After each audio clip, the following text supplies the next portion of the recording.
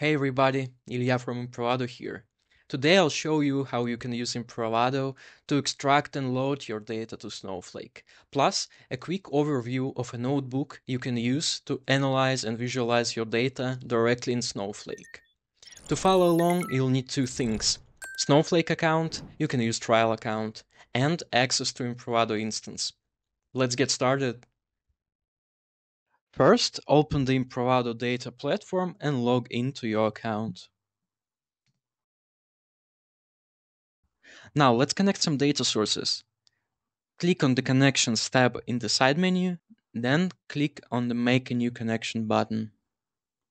For this example, let's connect Google Ads and Facebook Ads. Let's start with Google Ads. Use the search bar to find this data source, and then select it.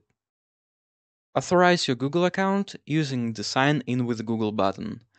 I already have it connected, but you will be redirected to the Connections page, where you will see your new connection. Once the connection is created, let's do the same for Facebook ads. Use Search to find it, and then select an account for authorization. Now that we have two connections ready, we need to set up data extraction for them. Let's start with Facebook ads this time. Click the extract button here.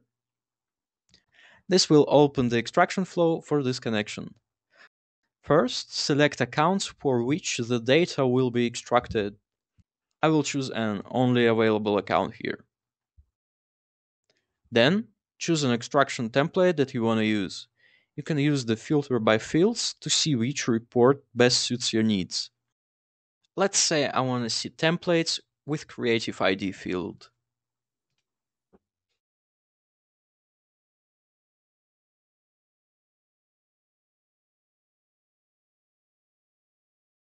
I'll select the Ads region template. In this step, you can configure your report's scheduling and any custom settings or metrics. Here, it is essential to note the data table name, which we will use later to set up the data load. I'll leave everything else as default and click Continue. As a final step, you get an overview of extraction orders created based on your configuration. Click Continue to finish the configuration for Facebook ads. Now you will need to do the same, but for Google Ads. So select Accounts, Template, and configure the report. After the initial extraction, you can preview the extracted data by opening the data table where our extraction orders are located. In this case, I have data table for Facebook ads ads region report. Open the preview tab to check 10 rows of your data. We now need to set up Snowflake as a destination. Open the destinations page and click add a new destination button. Select Snowflake from the list. On the Snowflake connection page, fill in the required fields. Then click Continue. After the destination is created, it will have initializing status. If the connection is successful, you will see the active status. The only thing left to do here is to load data we extracted from Google Ads and Facebook Ads accounts to the Snowflake destination. To do this, open the Snowflake destination we've just created and click Setup Load. Here, we need to select data tables that we want to load to our destination. Choose the data tables you've created for Google Ads and Facebook Ads and click Continue. You can change scheduling settings here, but I'll leave everything as default. Click Create to finish the configuration. Now our data will be loaded to Snowflake. Now let's head to Snowflake and check our data. First, sign into your Snowflake account.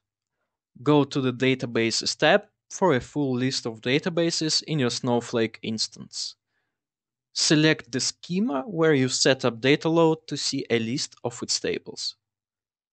You'll need to create a new SQL worksheet to query your data. Go to the Projects, then Worksheets. Here, click the plus button and select SQL Worksheet from the dropdown. You can select the table you want to query using this side menu. For example, I want to query data we extracted from Facebook ads. So I write a simple SQL query and run it. Check the data loaded to this table in the results view or create a chart to help you visualize it. You can also use notebooks to analyze and visualize your data in Snowflake. Here is an example that shows the cross-channel performance model. So we have multiple cells in this notebook to process our extracted data. Now let's run it.